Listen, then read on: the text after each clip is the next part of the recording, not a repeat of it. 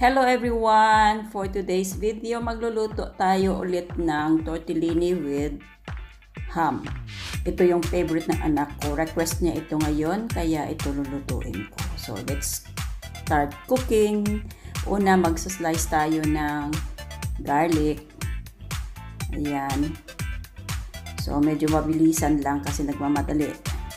Yung lola nyo. Ayan.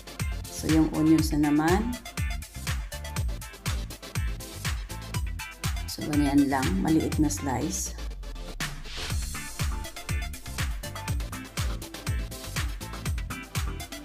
So, ingat sa pag-slice. Baka mahiwa yung kamay nyo. So, ito na.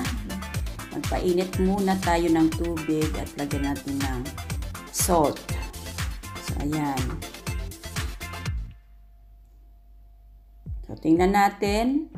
Ayan. Nagbo-boiled na yung water. Pwede natin ilagay yung ating tortellini pasta. Ayan. So, huwag i-overcook guys ha. Just cook for 2 minutes. Ayan. Pag umakyat na yung pasta, luto na yan. So, i-transfer natin siya. Kunin natin siya sa water para hindi siya ma-overcook.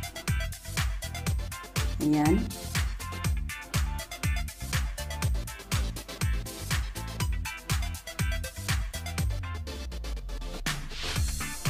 So, yung next steps ay lulutuin natin yung sauce. So, ayan. Maglagay tayo ng konting oil, konting-konti lang. Isang teaspoon. Tapos, lagyan natin ng butter. Konti din yung butter kasi ayokong ma-oil. Ayan. So, lagay natin yung onions. Isa natin siya muna. then, sunod natin yung ating garlic. Uy, umilaw. Ayan, nakalimutan kasi i-switch on yung ilaw. Ilawan natin para mas maganda yung itsura. So, ayan na.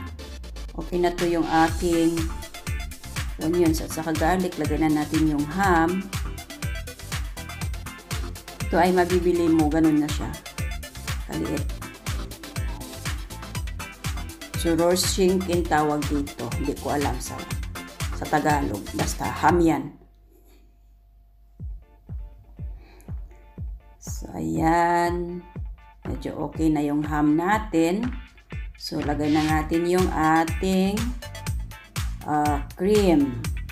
Dalawa akong cream. So, ayan na. Nalagay ko na. Ayan. So, hintayin natin na mag-boiled yung cream. Ayan. Boiled na siya.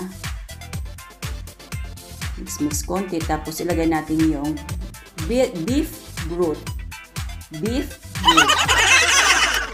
Na bulol. Tapos, yung dried parsley. Pag meron kayong uh, fresh parsley, mas maganda. Pero wala ako. So, ayan. Mix-mix lang.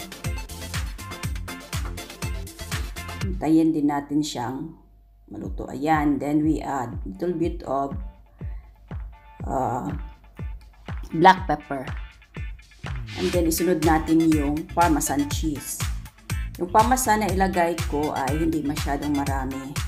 Kasi parang ayokong masyadong marami. Pwede naman tayong maglagay ng parmesan cheese sa taas pag kumain tayo. So, doon tayo mag-adjust. So, ayan, bumula na. Lagay na natin yung ating pasta. So, we just cook for 2 minutes for the pasta together with the sauce. Imimix lang natin siya para ma-absorb doon yung uh, sauce ng pasta doon sa pasta. Ayan. Just 2 minutes guys. Maximum 3 minutes. Huwag sobra kasi uh, para hindi siya ma-overcook. Ayan. So, try natin. Hmm, sarap. Napakasarap guys. So yan lang kasimple magluto ng tortellini pasta. Pwede kayong maglagay ng ham, cook haman or sweet ham, kung anong available sa inyo. Pwede din kayo maglagay ng bacon. Last time yung niluto ko, naglagay ako ng bacon. Ito ngayon wala. Ham lang. So ayan. Masarap ito. Happy-happy na yung anak ko. Ayan. So, off na natin yung ating lutuan. So, ayan na siya, guys. So, I hope you enjoy watching this video. And, please don't forget to like, subscribe, comment down below, and click the notification bell para ma-notify kayo for the next video. So, maraming salamat. Keep safe, everyone. God bless us all. And, bye!